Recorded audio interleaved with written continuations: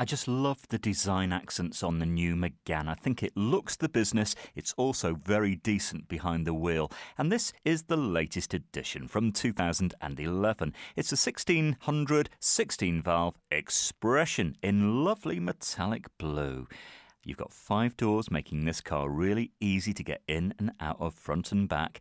And on the clock, we're looking at around 17,000 miles. Now, you've got a cloth interior. They're really comfortable, those seats aircon, power assisted steering. You've got a CD player as well to keep you entertained.